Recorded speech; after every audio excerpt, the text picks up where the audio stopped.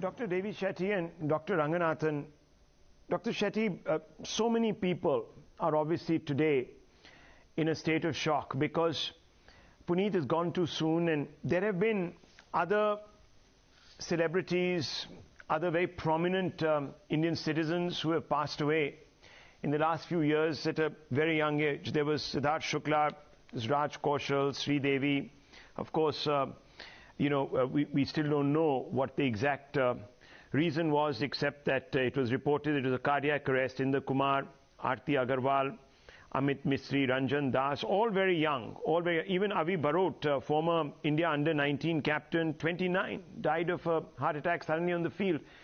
Dr. Shetty, why is this happening increasingly in, in, in the young?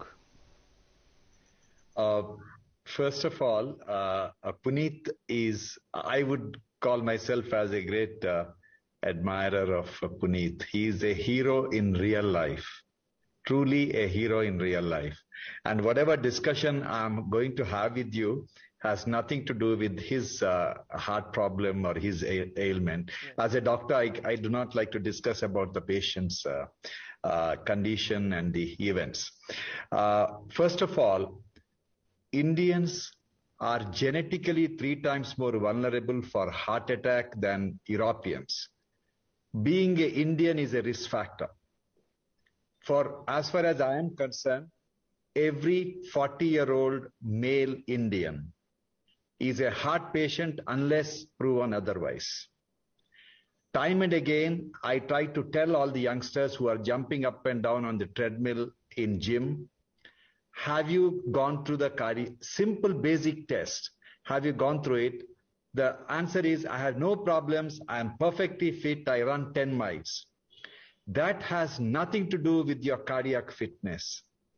You can run 100 miles, yet you can have a heart attack because half the Indians suffer from silent ischemia, which leads to silent heart attack. It is very, very important that people who want to exert in a gym like all this cardio and all kinds of exercises where the heart rate goes up to 130, 150, it is very, very important that they have just two tests, echocardiogram and a cardiac CT angio. Just the cardiac CT angio takes only two seconds. They go in and out of the machine and we can predict heart attack at least 10 years, 20 years ahead.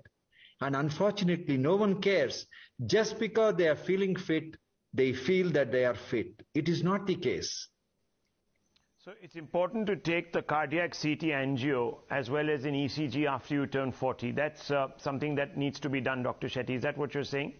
Yes, yes. Every Indian must go for a ECG, echocardiogram, and a cardiac CT.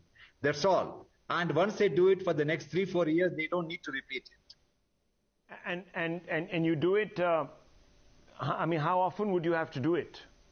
The, as I said, first of all, I'm not promoting my hospital. They can get it done in a neighborhood diagnostic lab. Every uh, diagnostic lab has a CT scan and they do an echo, they can do the ECG.